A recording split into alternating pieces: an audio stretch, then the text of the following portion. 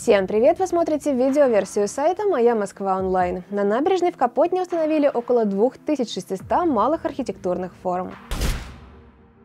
Как сообщила пресс-служба префектуры Юго-Восточного административного округа со ссылкой на управу района, в рамках благоустройства на объекте уложили около 37 тысяч метров дорожек и площадок, а также более 25 600 погонных метров бортового камня.